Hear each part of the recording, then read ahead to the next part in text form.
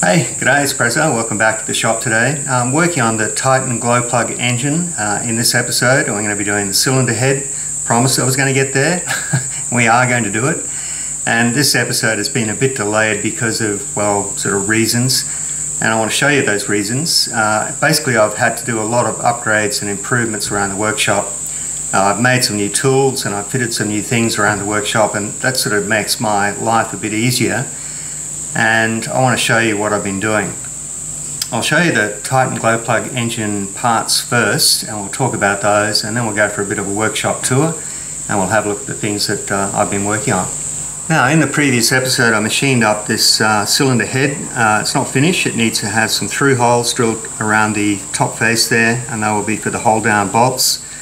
Uh, we also need to machine a series of grooves which will create the cooling fins in the top of the cylinder head and there needs to be a groove machined on the underside that clears the baffle on the top of the piston. So that's what we're planning to do today. Now in the last week or so I actually tried it out on this part here. Now this was the casting that was supplied with the kit and unfortunately this was scrapped because somebody had cut the gate off the casting and cut it too close to the finished size of the cylinder head and that basically meant that I couldn't finish the diameter to the size shown in the drawings without leaving that flat there. And I went through and I decided I would try all the machining processes here. And at first glance, this looks great, except it's not. um, unfortunately, the, the hold down bolt holes aren't aligned correctly with the grooves that create the fins. When I set this up to cut all of the grooves for the fins, I didn't have it tight enough in the fixture and it rotated and it dug out the corner of these two fins here and also the slot on the underside isn't clocked correctly compared to the, the fins in the top of the head. So basically I made a whole bunch of rookie errors on this one here but I think I've learned from my mistakes and we're going to try doing this one a little bit differently and that's the basis of today's episode. But first of all I want to show you the little projects that I've been working on around the workshop to make up for the fact that we're not going to do much on this today. Well, this is the first thing that I've been working on now. A while ago I did an episode called Shop Made Tools and I was having a look at some accessories that I'd made around the workshop and this was one of them. Now, this is a fabricated steel socket that I can bolt to the underside corner of my welding bench. And this socket will take a number of accessories. Now one of those was an engineer's vise that you just drop in there. You rotate the vise to suit the work that you're doing. And I also made this little mini anvil and once again it just drops into that socket you can tighten up that handle and you can position that anvil wherever you want it to go. Now at the time when I was working on this I said that I was going to continue making accessories and uh, I had two in mind. One of them was a, uh, an old three jaw chuck that I could put in there and you could tighten up round work if you wanted to grind it or weld it or whatever. And this was another one. Now this is um, made by AEG now they sold these as an accessory for their range of drills and you could also turn this into a sort of a mini wood lathe. So the idea was that you could put a, an AEG drill through this socket, tighten it up, and had a rail that fitted through this hole here, and that became the bed of the wood lathe. Had a matching tailstock at the other end. Now this belonged to my father. I still actually got the other accessories that go with this, but I figured this would be perfect to go into this socket. So I welded a uh, a piece of this uh, solid stock onto a plate, screwed that on to the, the casting, which is like a die casting, and once again that goes into that socket and you can rotate that wherever you want that to go. Now what that means is that you can take any drill with a standard 43 millimeter nose piece on it. Now just about all drills that are made today have this standard size and you can fit that through there you go. Safety first. Now you can fit that through and then tighten that up with an M, uh, with an 8 millimeter hex key and you've now got a rotary spindle.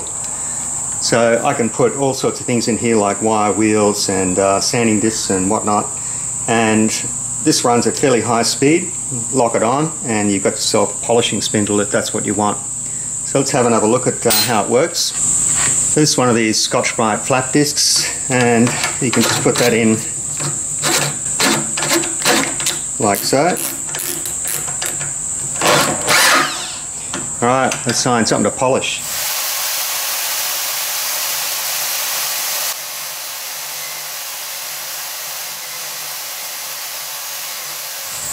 Okay, I think you get the idea. And uh, any sort of sanding or buffing or wire wheel system that you can fit into this chuck here is perfect for this operation.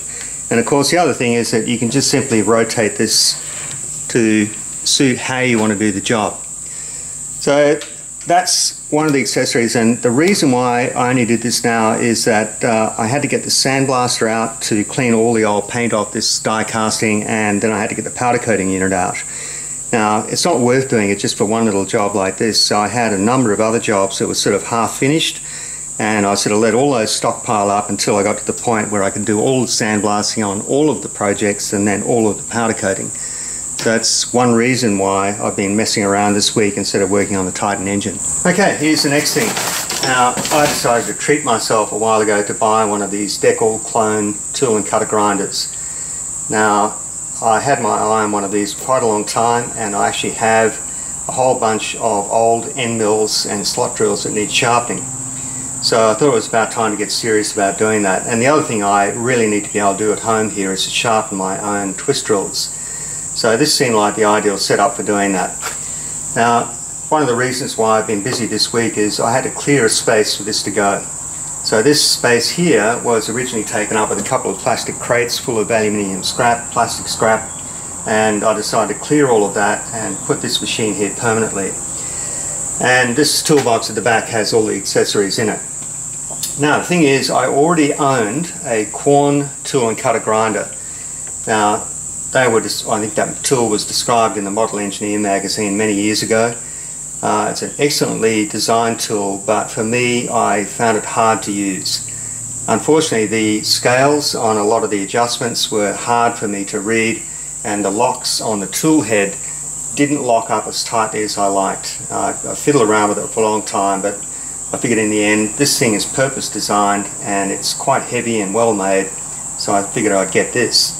So that now lives there, and you might say, well, what did you do with the Quorn? Uh, well, good question.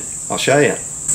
Right, well here's about one third of the Quorn. Now this is the grinding spindle and the integrated motor, the drive system, and uh, this can drop onto an accessory that goes in the compound side of my lathe. Now this is not finished yet, this is just a lash up to show you how it's going to work.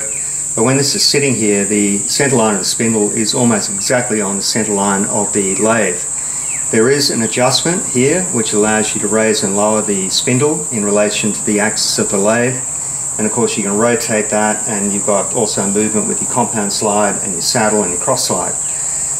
So this part of the Quorn works great and that's what it's going to become as a tool post grinder and the rest of the Quorn's up in my container at the moment and it may get cannibalized for other projects, I don't know. But for the moment that's what this is, it's a tool post grinder. This is a project I worked on a while ago um, and I was able to put all my tool holders up on this rack system here and they just drop onto those bits of aluminium angle. And this is an aluminium extrusion that I found down at the, uh, the local sheet metal works that was in their skip. But it turned out it was just the right shape and just the right length to fit on the, the splashback on my lathe here. But the only problem was all my Morse taper tooling was sitting on another shelf and it was awkward to get at and it was all bunched up and it didn't fit very neatly. So I made this little uh, system of sockets here for the Morse taper tooling. So I just sort of drop those in and they're handy and easy to get to. I also extended the base of this so that I can put my indicator holders on there and lock them down with their magnetic bases.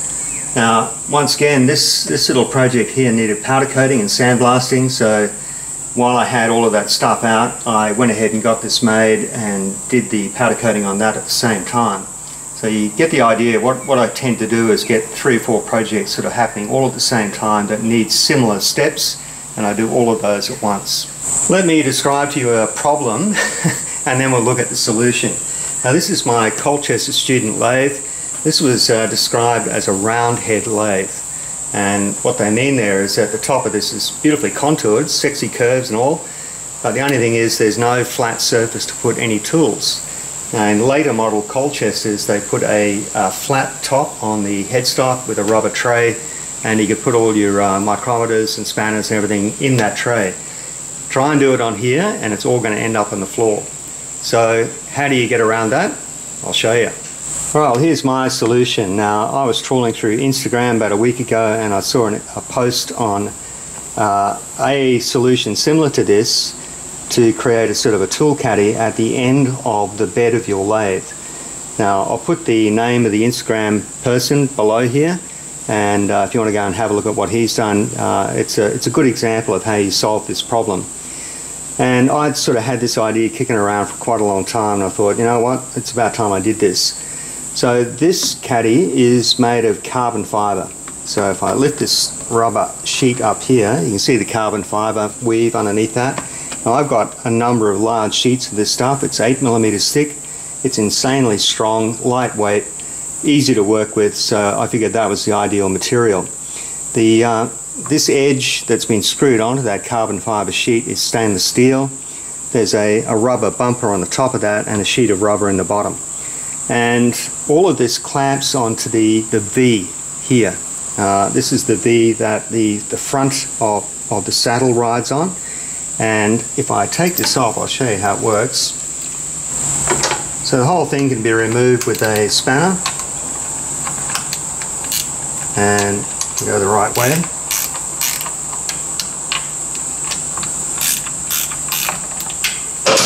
And it just slides off like that. So there's the uh, underside of it and I think you can see how that works. So there's a pair of arms here that have got a V cut in it to match the, the V on the bed of the lathe. There's a spacer plate and a clamp plate and a couple of 6mm hex head screws to hold it all down. So if you do need to remove it for any reason, it's a very simple and quick process. Again, this is powder coated, uh, but sandblasted before that. So um, that's another reason why I had all these projects sort of waiting around to be done. So powder coating is great. I mean, it, it looks nice, it's easy to maintain, it doesn't corrode. So it's the ideal process for me anyway for doing this sort of work. And all this was machined up very quickly on the Bridgeport mill. Uh, didn't seem to take too long to get this done. So if you ever need to remove it, it's, it is quite a simple process. And it just slides back on like that. And at the moment I can run the tailstock all the way back to the, the rear of the bed. Now also for any reason if you have a lapse in concentration you decide to run the tailstock down to the end of the bed and you overshoot, uh, it'll collect the tray and stop the tailstock falling on the floor. Now, you may think that's never going to happen, but it does. Uh, when I was teaching in uh, high school, one of the students got a bit overzealous, ran the tailstock all the way down, put the whole thing on the floor, and smashed this tail uh, tailstock hand wheel. And they are a nightmare to fix. Uh, cast iron, uh, it was broken into about four pieces, so yeah, no fun. Anyway, that's the uh, the tray, the tool caddy, and uh, it's, like I say, a job that I've been wanting to do for a long time and it's done. Okay, this is the last thing I want to show you. I recently updated this camera rig that I use here in the workshop. And what I have been doing previously is I had used an old car rim that you can see here and I just uh, bolted a piece of this steel tube to the center of that rim and I had to pick it up and carry it around the workshop. But the good thing was that the rim takes up very little area on the floor of the workshop and most of the weight is down low. So unlike a tripod where you got the legs spread out a long way, it's very difficult to trip over this. Now the difference this time is that I've got casters on this little frame here at the bottom and that yellow thing is a cast iron weightlifting weight and that sort of keeps all of the mass down fairly low with the rig. So let me put this camera on a tripod and I'll show you what I do with the top part. So with the top of the camera rig I've got a Sony Handycam mounted on a tripod head so I can you know, move that, tilt pan, do all that sort of stuff with that. And above that, I've got a small LCD monitor, which I can use to see what I'm doing. I, I can move that anywhere I want that, pivot it and uh, bend it and do whatever I need to do there. And there's a flat panel LED light there as well, which is not brilliant, but it does enough in this workshop if I'm working close. Long shots can be a bit of a problem. This can also be tilted and moved um, to suit the job that I'm doing. And this whole assembly is mounted on a clamp. So I can actually take this clamp off this bit of tubing here and I can reposition the camera over my lathe or in the center of another bench. And it's just, it's very, very quick. Just undo that clamp, take the whole head off, and you put that back on again. And, you know, you've got some range of movement with that as well. Now the other trick with this is that you can raise and lower this whole assembly. So if I undo this lock here, you can raise that, lower it, lock it, and this whole arm can slide in and out of this little plywood attachment here. So there's another lock on the back and I can loosen that and slide that arm out or back in again. And what that means is that you can position the whole rig next to a bench and then slide the whole camera out over the center of the bench. So all in all, this is a, a, much more versatile system. It's a lot safer than what I had before. And it's a lot quicker to move it around the workshop. And like I say, this assembly here is transportable. We can take this off and reposition it anywhere else in the workshop. So that's what I've been doing. and now it's time to get back onto the Titan engine. So let's go. Before we have a go at the cylinder head that will fit on the finished engine, I thought I'd talk about this one here and some of the things that went wrong. Now in the construction notes it said that you could use a ball nose end mill to cut the slots that form the fins on the top of the cylinder head. And if you look carefully there you'll see that the bottom of the slots have the half round radius. And it also said to use this little fixture to hold the part and as you close that up it's meant to grip on the section that fits inside the cylinder liner.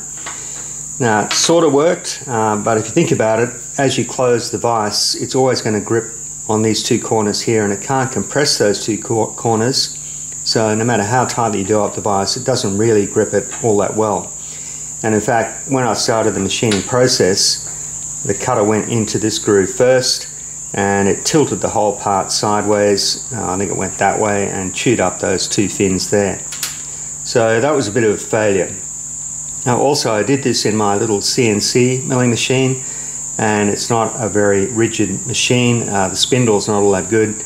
Uh, the only way I could get it to work was to take very, very light cuts. So they were one millimeter depth of cut. Uh, I think it took 40 minutes to do the whole machining process. It got done, but it just took forever. And also the quality the finish isn't all that good. So if you look carefully there, you'll see all of the steps created by each pass through that part.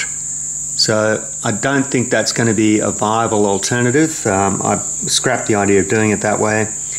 We're going to do it now in the Bridgeport mill and we're going to use a slitting saw to cut all of these grooves. Now in the construction notes it says you can do that so that's where we're going. I've also redesigned this fixture so this is the cylinder head blank that we'll be doing today and this is the fixture. Now this is going to get gripped in a three jaw chuck and that will ensure that this slot closes up. Now this fixture is also pretty tight on the bottom side of the cylinder head. So uh, there it goes. So that fits on like that. And just to ensure that when we start cutting there's no chance that we're able to pull that blank out of the fixture, I've got a sort of a, flat-headed screw that fits through where the glow plug will go. And then there's a plate on the back and a washer and a nut. So this is just a bit of insurance just to make sure that when we start cutting this all stays as one single unit. So let's get this set up in the mill and have a look at how that's going to work. This is the setup that I'll be using for holding the cylinder head and cutting the slots. So I've got a three jaw chuck bolted to a large angle plate. Angle plate is aligned with the y-axis and I've uh, already offset from the bottom of the cylinder head blank to the height of my first cut. So I'm going to be using the micrometer dial on the z-axis and the DRO and I've got a drawing here showing all the offsets from the bottom of that cylinder head blank. So as long as I stick to these numbers and run each pass it should be correct. But as you can imagine if you get this wrong the thickness of the first and last fin will be different and it's going to look stupid. So, um, in a state of high anxiety. I've been through this and rehearsed it a number of times. All we can do is hope that uh, both the DRO and the micrometer dial do their job. So I'm going to crank this chuck up as tight as I can get it. And hopefully that's gripped really securely.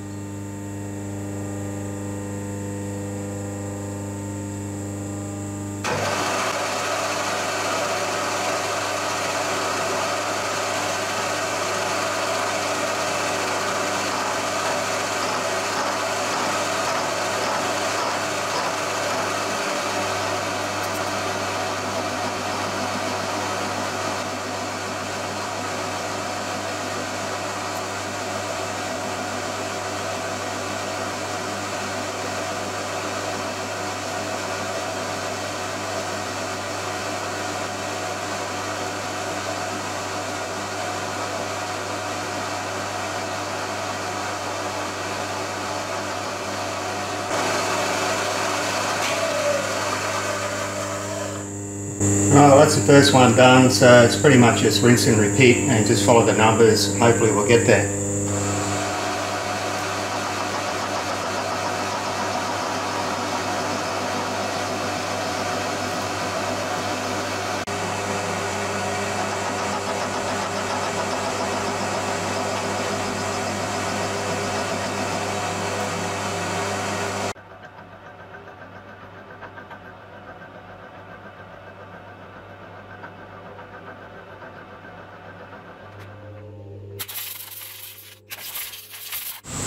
Well, with uh, two cameras in the way, it was really hard to see how close I was getting that. But what we'll do now is take the whole chuck off the angle plate, and the chuck's going to go over onto the little CNC mill. We're going to do all the drilling and counter boring over there. Well, I've had a chance to have a close look at this, and I'm pretty happy with it. The first and last fin are within about 0.02 of a millimeter difference and just either side of this counter bore where the glow plug goes, uh, the fins didn't quite break through, so I'm quite happy with that. This is going to need a lot of deburring though. And before we put this on the CNC mill, I'm going to drill the crankcase. The reason I want to do the crankcase before I do the cylinder head is that I already had the vise on the machine that's trammed in and it makes sense to do this operation now. The other two parts, the cylinder head and the cooling fins and liner, will be done in the same chuck on the machine. So I might as well do this now. Once we get the spindle over the very center of this bore, I can set up the G-code and drill the three holes. And we get those tapped, and then we can swap out the setup and put the chuck back on the machine. So I've already trammed in the top of the crankcase to make sure that's level with the table. So we'll go ahead now and find the center of the bore.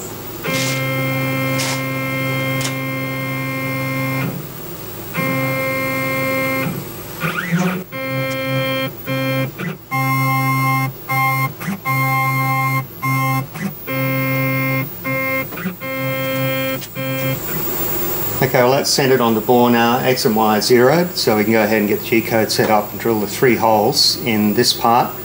There are six holes in total in the cylinder head, but only three of them go all the way down to the crankcase. Got my G-code set up, we're going to spot drill the three locations now, and then we'll drill number 36 and tap while we've got this part in the vise and it's all oriented.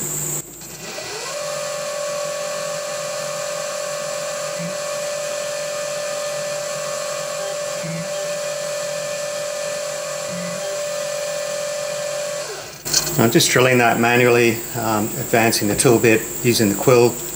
Uh, just feel a lot happier about doing it that way. You get a better feel for it.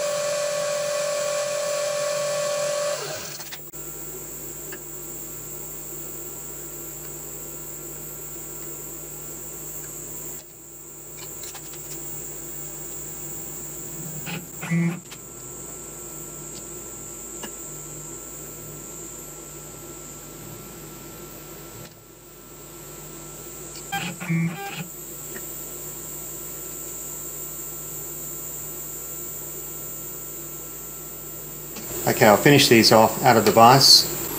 Because of the way I had this set up on the big angle plate in the Bridgeport, I couldn't bolt this uh, chuck down using the two slots parallel to the slots in the table because I had to align these cooling fin slots with the y-axis on the mill. So what I've done is I just bolted down with one bolt and then I swept the indicator backwards and forwards along this piece of brass stock here and then I tapped it in until I got it accurate. So I think I've got that pretty close. So that's all bolted down now and what we need to do now is find the center of that part and set that as the origin and then we go ahead and do all the, the drilling and the counter boring in the head. To center this part I've had to sweep an indicator around this section of the head here. My probe won't really work in this situation. It's all burrs on the inside of this bore and it needs to touch off on the top and then move down to get the outside of that part. And I'm just worried about the burrs interfering with that. So did it the old school way. Uh, I think I've got that spot on. So I've zeroed the uh, X and Y there. We can go ahead now and start doing the machining.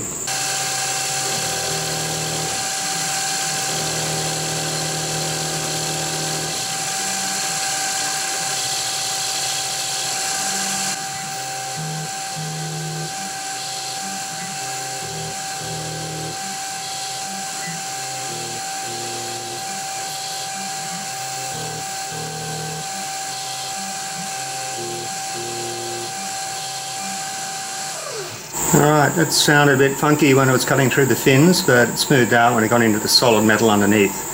Now we got a drill. Off camera I did each hole with a spot drill, so now we can drill right through this to number 28 and it'll go down into the fixture uh, past the bottom of the cylinder head flange.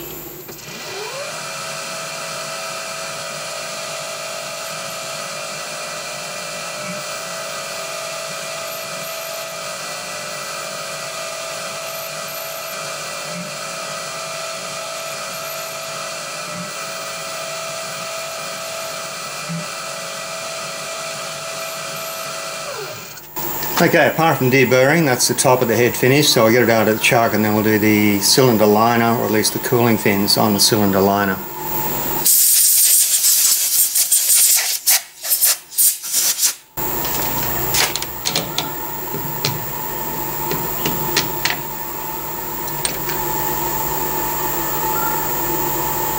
Alright, a lot of deburring to do.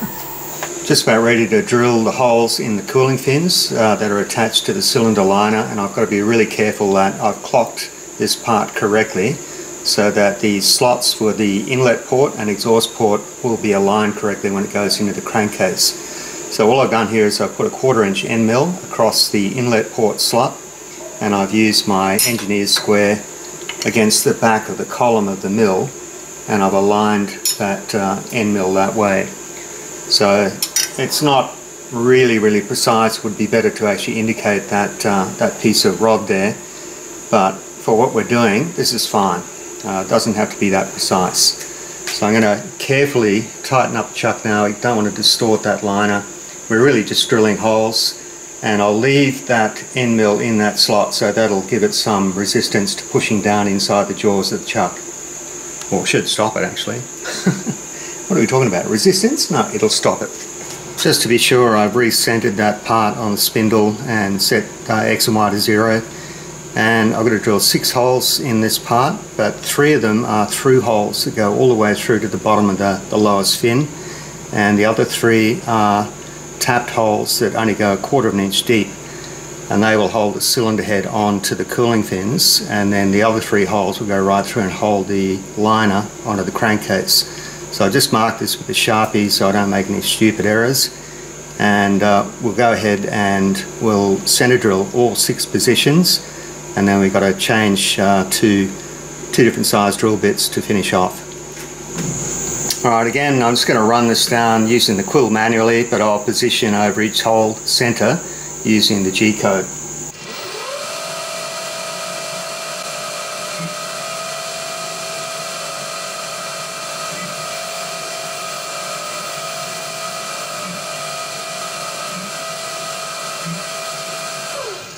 Okay, we'll swap out to our tapping size now and drill the three holes that need to be tapped.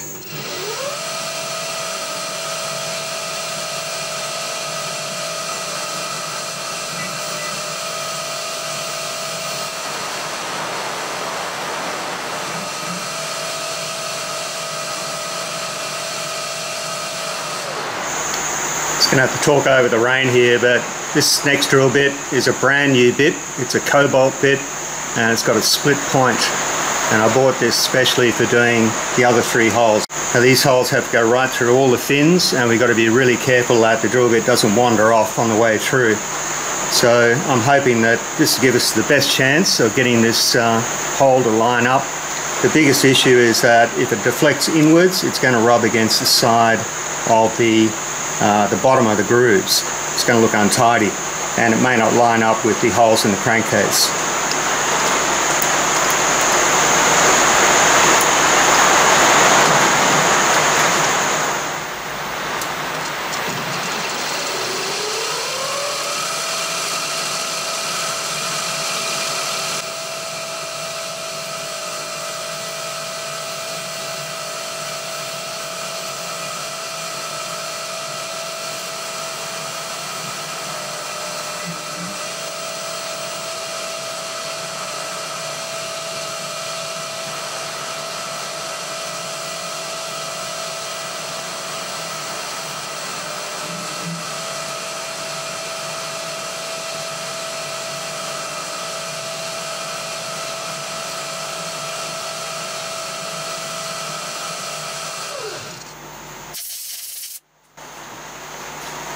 I've just got to tap the three holes um, that will hold the cylinder head down, but I'll do that off camera.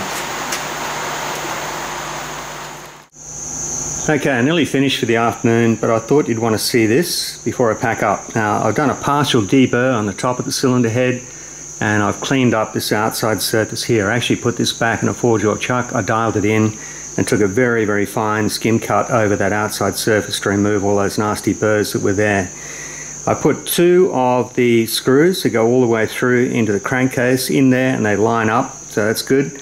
But this is the thing that I wanted you to see, and the thing I was worried about. Now right at the very bottom of the grooves that form the cooling fins, there's a line which was caused by the drill bit skimming that surface as it went through. And I was, you know, really worried that that was going to cause the drill bit to deflect. But as it's turned out, it hasn't done that.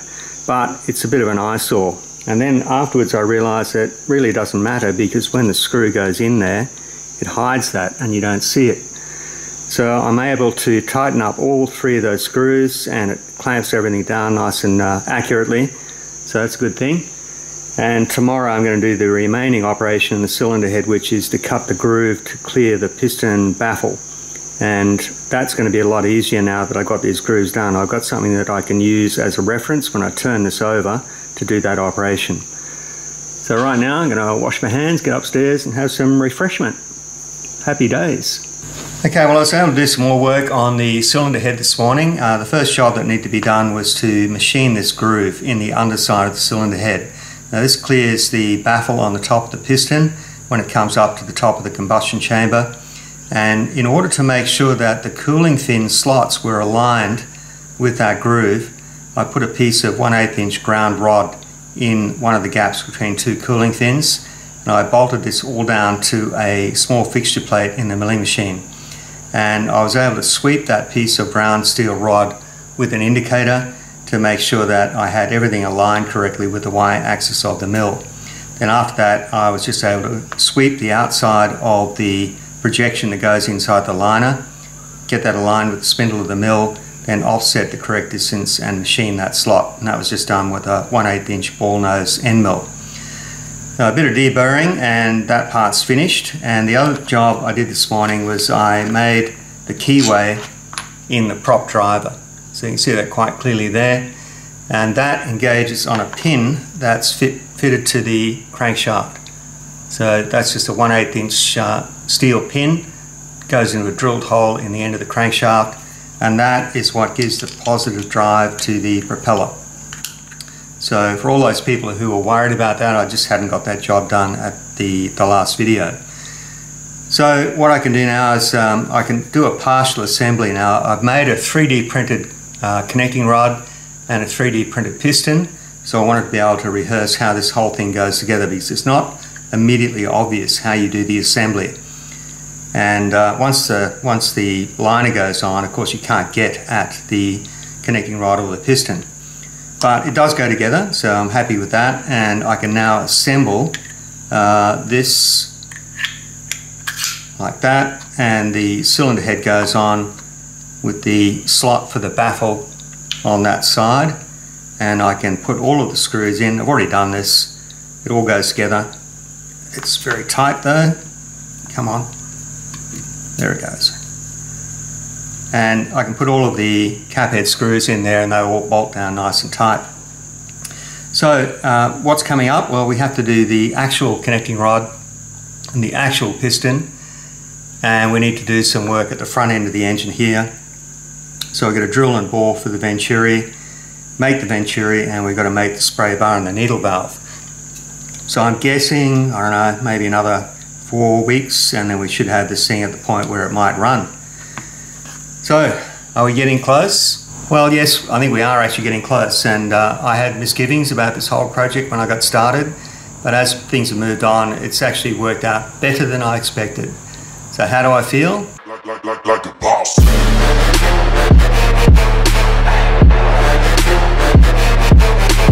Okay, well, that's it for me. I'll see you on the next video, guys. Thanks for watching. And Prezo signing out. See ya.